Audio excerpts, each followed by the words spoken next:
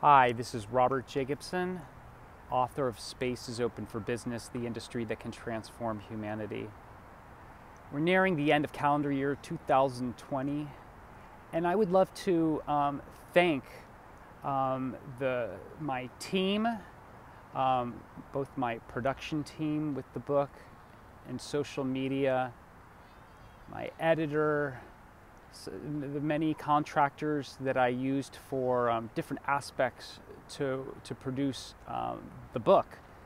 I want to thank them, thank them for, for all of their individual and collective efforts. And I also want to thank my sponsors. I had help from um, financial support from uh, Hypergiant Industries, as well as Jeff Garzik, who works with Bloq and SpaceChain.